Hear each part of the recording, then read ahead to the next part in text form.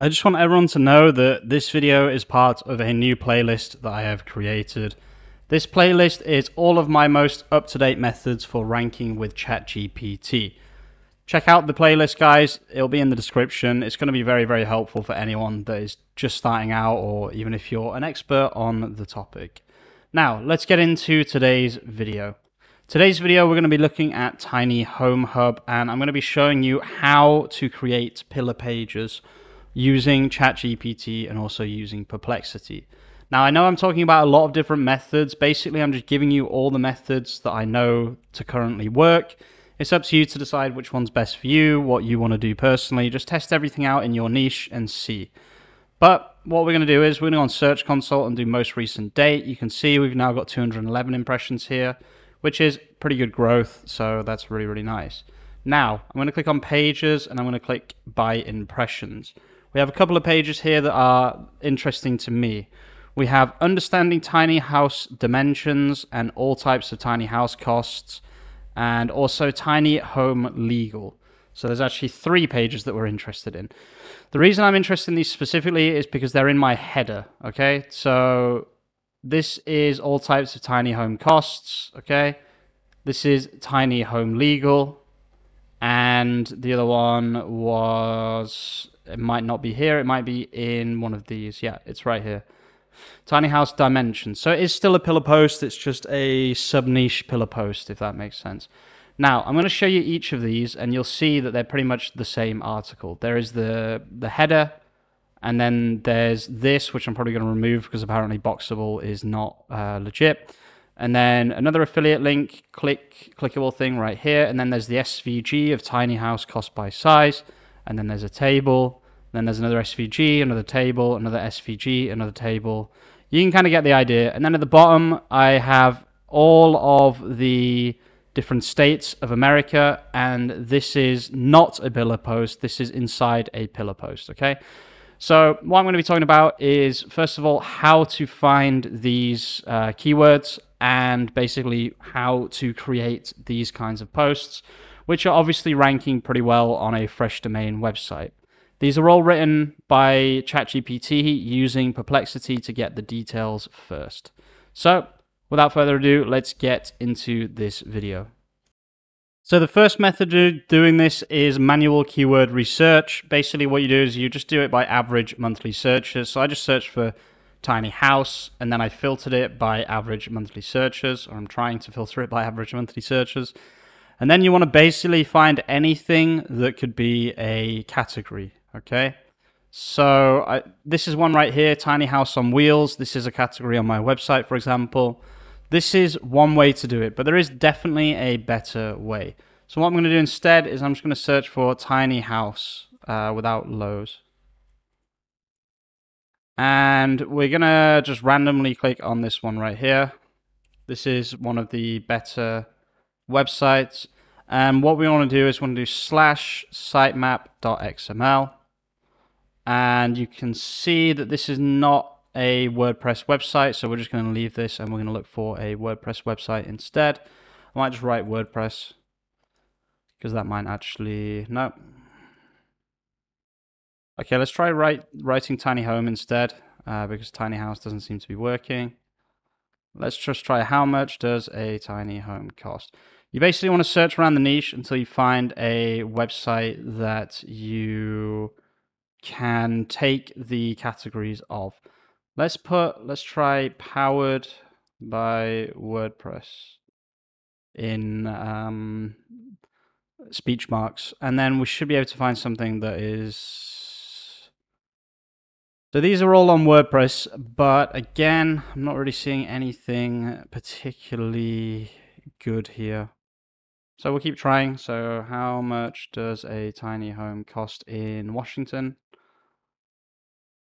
Utopian villas, this could be one. Let's have a look. So we'll do this again, sitemap.xml. Let's see if this has categories. Does not have categories. Okay, so that again, this isn't useful. You really, really want to be looking for, let's try a different state, California. Let's try Utopian Villas. Oh, maybe we just tried this. Yeah, we did. Row built prefab review, free tiny homes. This is looking good. So we'll do, oops. Yeah, this looks like a good one. Sitemap.xml. Okay, that didn't work. It just redirects. Okay, that's kind of weird. They obviously don't want people looking at their uh, sitemap. I'll just find one. I've shown you how to do it, now I'll just find one. Okay, so I just found the tiny life. Um, it took me a little bit of time, but I mean, it will take you a bit of time. And this is actually the one that I used in my uh, course, so I know that this is good. So we'll go to page sitemap, and you can see here, these are their categories. Anything that doesn't have another slash is a category. So homesteading, minimalism, um, tiny house plans, tiny houses general, what is the tiny house movement? These are all ones that I have also made on my website. You can see that most of the inspiration did come from this website, and I could just tell that it was a well made WordPress website. So, what you can do is you can take this and you can take it into ChatGPT, and you can say, for example, um, give me all the good category pages from this sitemap.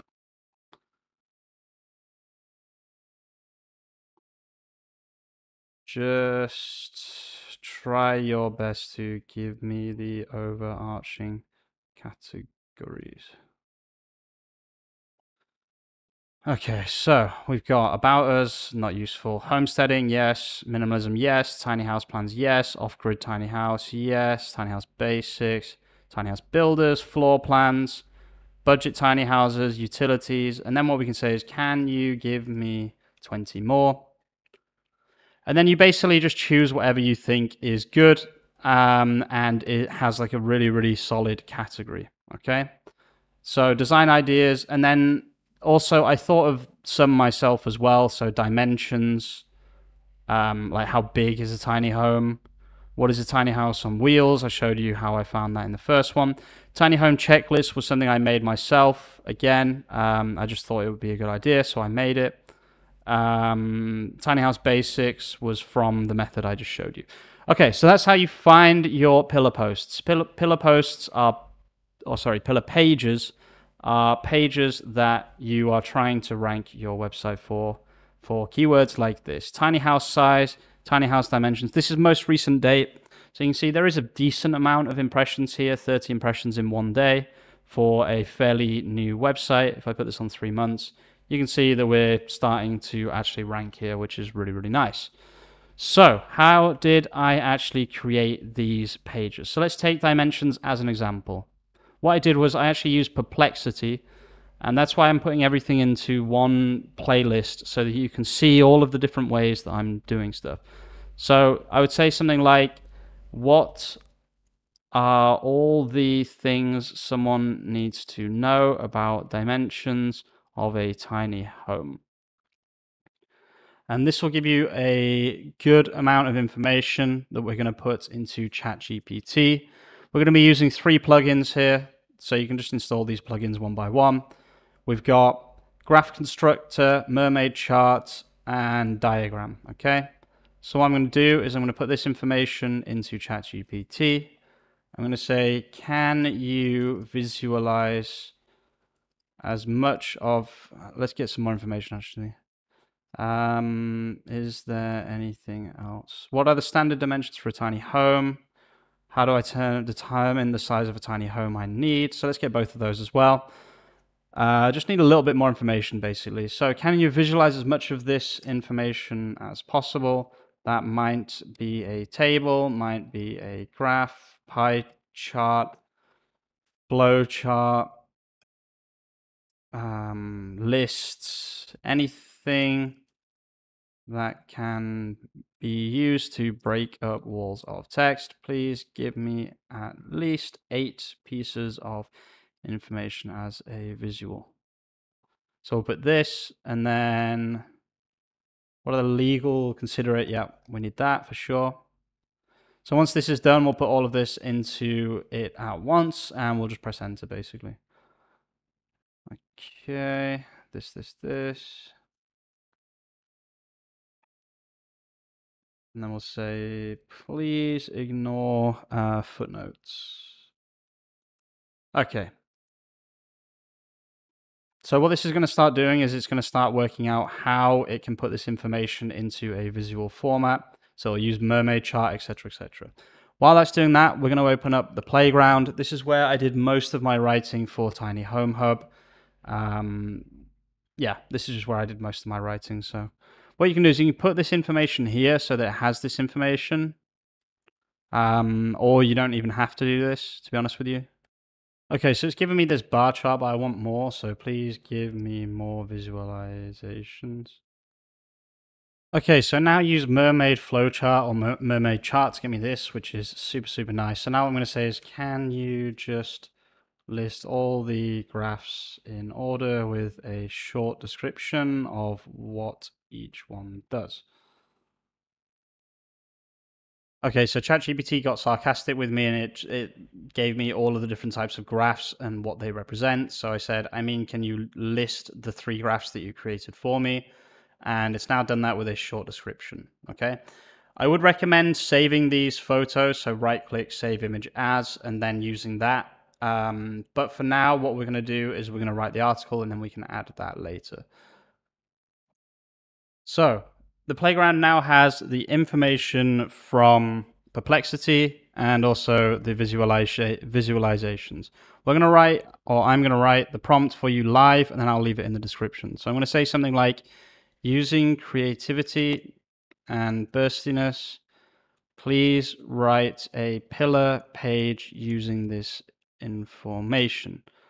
At the top, please summarize all of the information they the readers can expect to get from this post either in a list or a summary table, not a table of contents.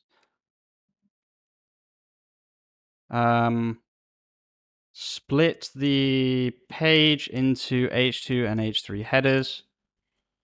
Make sure to use lists and tables where possible.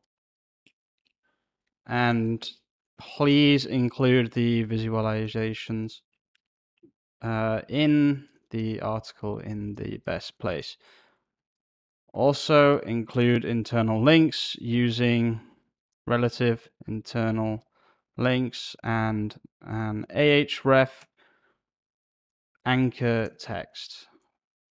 For example, is my homepage. Okay, so now we're going to press submit and this will do all of that for us. Okay, so just out of interest, while that's writing, I'm actually going to use ChatGPT um, with Code Interpreter here. Uh, so yeah, and I'm going to do exactly the same thing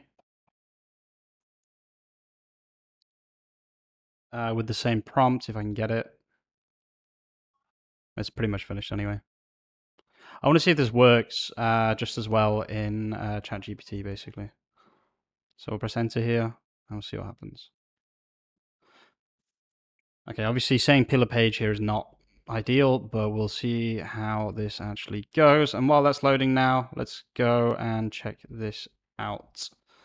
So we'll go to markdown to html.com and we'll put this in. And we should see a pretty comprehensive article, which you can see that is exactly what this is. And basically what I did personally at the bottom is I added a lot more content. So this is dimensions. So where's dimensions? You can see it's pretty much the same article if you actually look at these two. What I did on some of them though is I added all of this information here, which is all of the separate states in the United States, one by one, uh, talking about the legal points. I actually made these articles in pretty much the same way that I just showed you in this video. Okay, so comparing the two, I actually think that the ChatGPT UI here has done a better job. I prefer the layout, etc., etc. Has more lists and it has the same information on here. I actually just think it might be a little bit better, which is super, super interesting. I wrote them like this with the playground. It's a bit cleaner, blah, blah, blah. But this content here actually looks better. But yeah, that's actually going to be the end of this video. I hope you are all you are all enjoying this series where I go through how to rank on Google, basically from step one. You can watch the entire playlist on my channel. It will help you a lot. This is how to write informative pillar posts that will be the main ranking for your website in the future. And yeah, it's already working for me on Tiny Home Hub. Thank you for watching. I'll see you very, very soon with some more content and peace out.